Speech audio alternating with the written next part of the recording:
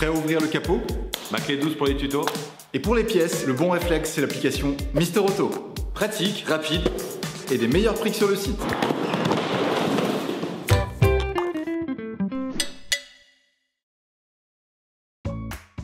Pour cette opération, munis-toi du filtre d'habitacle que tu peux retrouver dans la description de la vidéo. Coupe le contact de ton véhicule et serre le frein à main. Le filtre à habitacle se situe côté passager sous la boîte à gants. À la main, dévisse les deux plastiques qui maintiennent le cache sous boîte à gants. Puis retire-le. Saisis le flasque du filtre à pollen et fais-le coulisser vers la droite afin de l'extraire.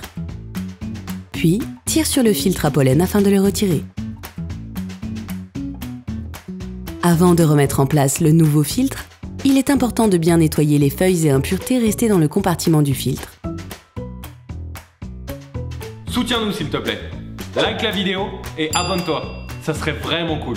Il existe trois types de filtres d'habitacle. Les blancs sont dits à pollen, tandis que les noirs sont dits à charbon actif. Le premier servira plus à arrêter les poussières, tandis que le second filtrera en plus les odeurs et les gaz. Une nouvelle génération de filtres a fait son apparition sur le marché.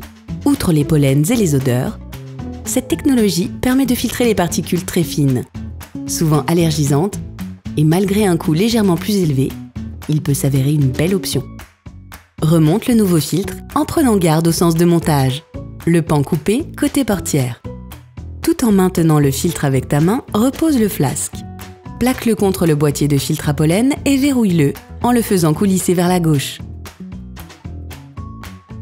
Repose le cache sous boîte à gants.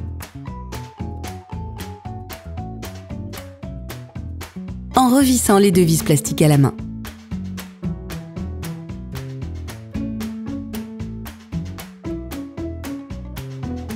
Opération terminée Salut, si cette vidéo t'a aidé, like, abonne-toi et mets un commentaire.